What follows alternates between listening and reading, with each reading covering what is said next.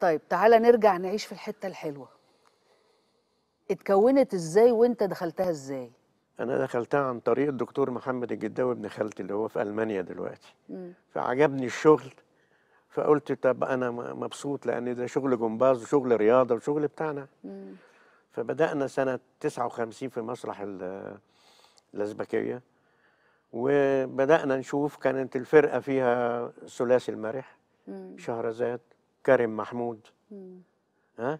كانت فرقة. وبعدين أول عرض أول عرض حصل كان كله رجالة مفيش حريم ابدا. ليه؟ كان كلمة الرقص دي كانت عيب في أيام سنه 59 يعني.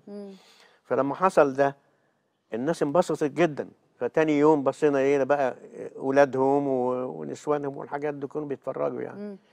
فكان آه، يعني الحقيقة كفرقة ما هياش زي ما بالناس بتقول إن الرقص ده م- عيب ومش الرقص عيب بالعكس.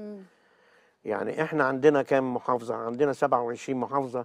كل محافظة ليها لون وليها آه، لبس وليها مزيكا وليها ليها حاجات كتير قوي. آه. فإحنا إحنا محظوظين عن العالم كله.